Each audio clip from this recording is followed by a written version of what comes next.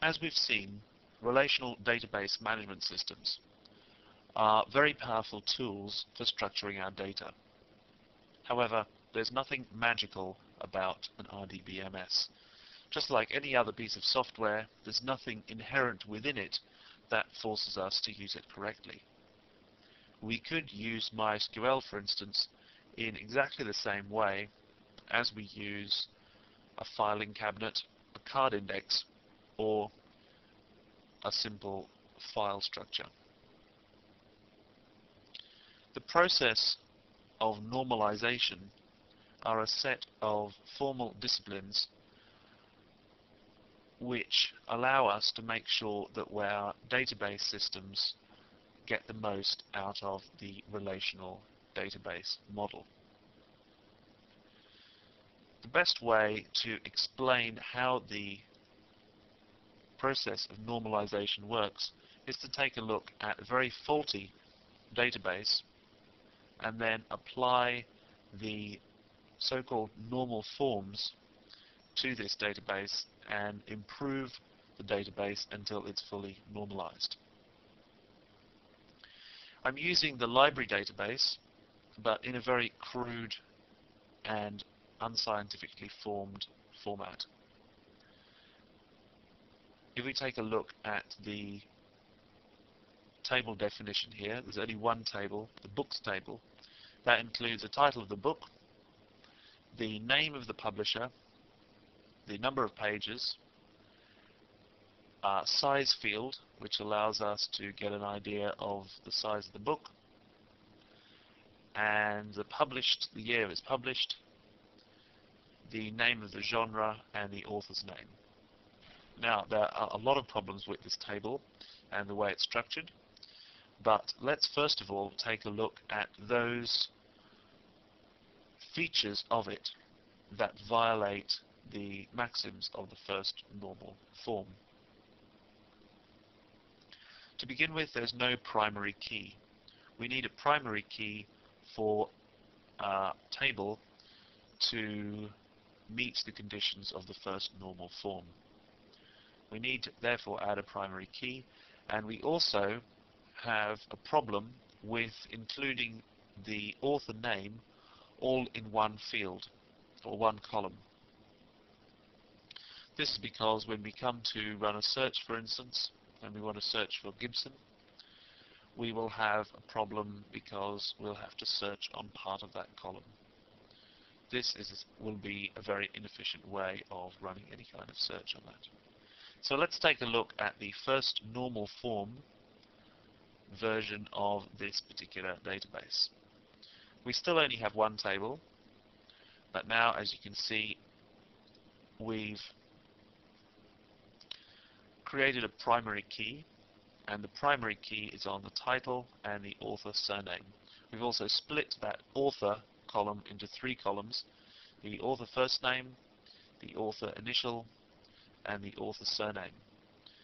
This respects the principle of atomicity, which is that each of the columns should be an atomic unit of data, that is, can't be broken down any further in the way that a full name such as William Gibson can be easily broken down into two names.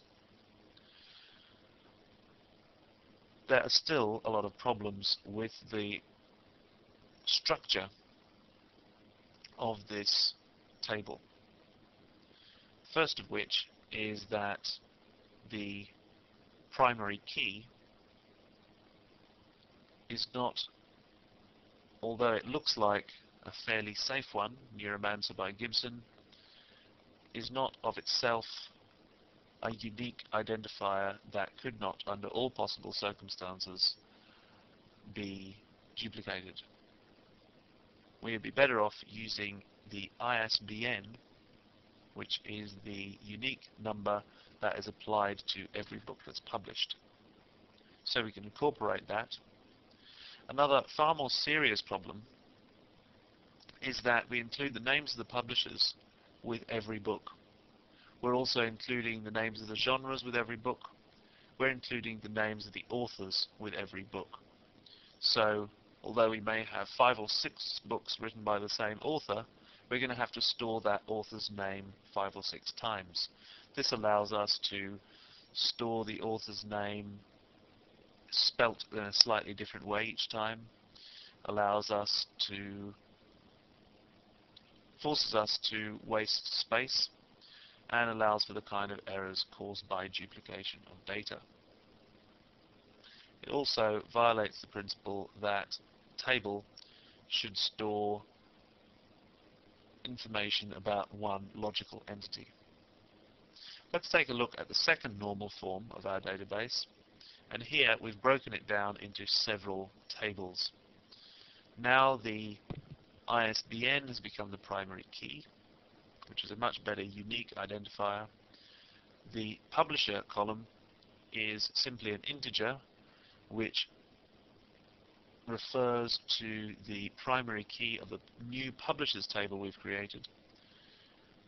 The genre similarly has a numeric column there and the author has been completely removed from the books table.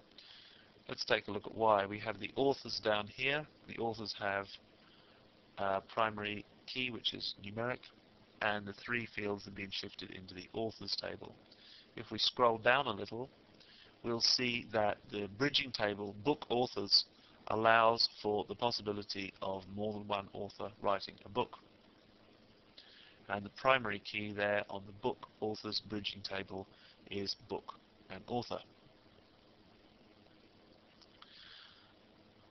The publishers and genres table have helped us to split the data away from the book table and here we have an example of inserting some data into the tables in this database. There is one other problem with the table, the books table as it stands, and that is the size column.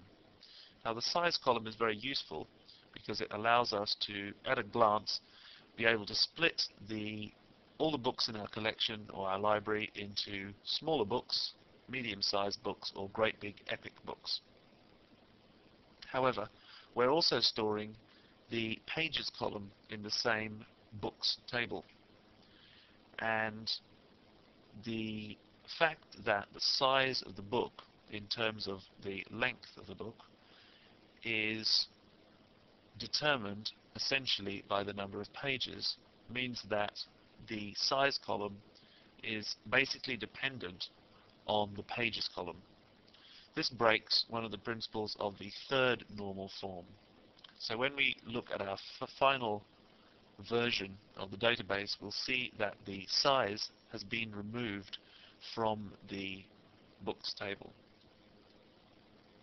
And we simply have down here a sizes table which specifies the different sizes according to a name and then the lowest number of pages that go to qualify a book for a certain size.